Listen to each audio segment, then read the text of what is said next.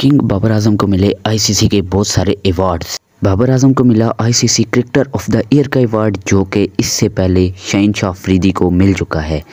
तो ये दो पाकिस्तानी प्लेयर हैं जिनको ये अवार्ड आईसीसी का मिल चुका है। इस बार मिला किंग बाबर आज़म को किंग। इसके बाद बाबर आज़म को मिला ICC ODI ODI cricketer of the year का अवार्ड, जो कि इससे पहले एक बार बाबर जीत चुके हैं। इससे पहले दो बार कोहली, दो बार एविड विलियर्स अगट्ठे और अब दो बार किंग बाबर आज़म ये अवार्ड जीत चुके हैं। बाबर आज़म ने गुज्त चवालीस मैचों में दो हज़ार पाँच सौ अट्ठानवे रन किए, जिसके बाद बाबर आज़म को ये अवार्ड मिले।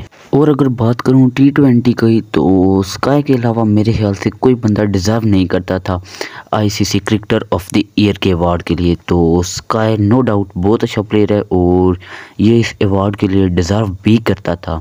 तो स्काई को मिला है ICC T twenty of the years का अवार्ड बेन स्टॉक को मिला आईसीसी टेस्ट का अवार्ड मैन टेस्ट का अवार्ड जो कि डिज़र्व भी करता था।